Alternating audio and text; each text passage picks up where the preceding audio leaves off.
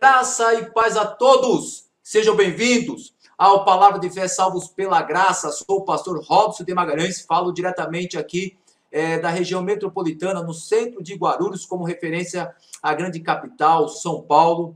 E é muito importante nós entendermos o que acontece no Brasil e no mundo. Aqui na República Federativa do Brasil, aqui é, no nosso país, a nossa pátria amada, muitas pessoas têm é, me perguntado de forma bastante aterrorizada o que está acontecendo é, com o nosso país, o que está acontecendo é, com as pessoas é, que vivem no, nessa terra tão amada, nessa terra tão abençoada.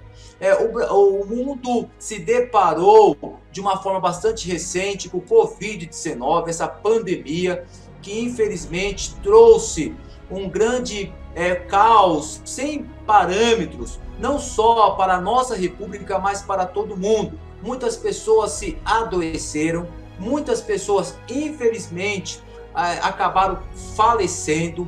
E aqui no nosso país, infelizmente, é, essa pandemia ela serviu de palanque para muitos governadores e muitas pessoas, muitos políticos usaram isto para poder promover e emplacar narrativas. Então, além do Covid-19, da, das, das mortes, da doença, da fome, no Brasil se transformou num grande caos político. Caos este é, que muitas pessoas de bem estão é, pagando muito caro.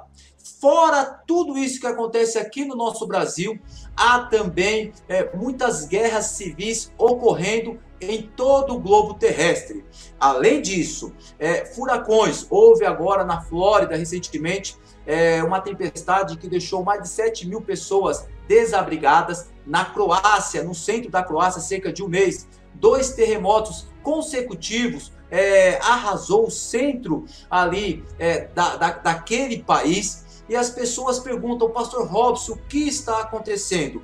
Tudo isso é, foi nos advertido pelo nosso Senhor Jesus Cristo, conforme o livro de Mateus, que ele escreve, escreveu no capítulo 24. E agora é, nós podemos assistir às imagens das manifestações que ocorreram agora, 31 de maio, neste domingo aqui na Avenida Paulista, na frente do MASP, é, na Avenida Paulista, em que algumas é, torcidas organizadas e mais alguns grupos é, tentaram emplacar uma narrativa que estavam lutando pela democracia e no final virou uma baderna, uma violência.